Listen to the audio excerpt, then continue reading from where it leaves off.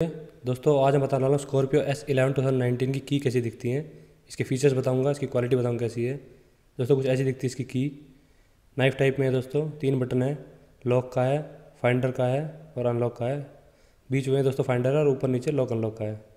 Lock वाला button दबाओगे दोस्तों, एक बार ब्लिंक करेगा इंडिकेटर आवाज़ कोई नहीं करती गाड़ी। अनलॉक दबाओगे तो दो बार ब्लिंक करेगा। ये जो इंडिकेटर है हेडलाइट में इंडिकेटर वो ब्लिंक करता हूँ, आपको दिखा देता हूँ। बिल्कुल सिंपल सी दोस्तों की दी हुई है। दोस्तों, देखिए ब्लिंक कर रहा है।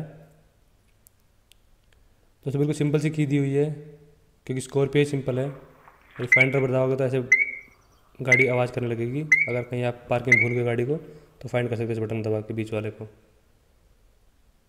दोस्तों, नाइफ टाइप में है ऐसे खुल जाती है। काफ़ी अच्छी क्वालिटी है दोस्तों, हैवी है थोड़ी सी।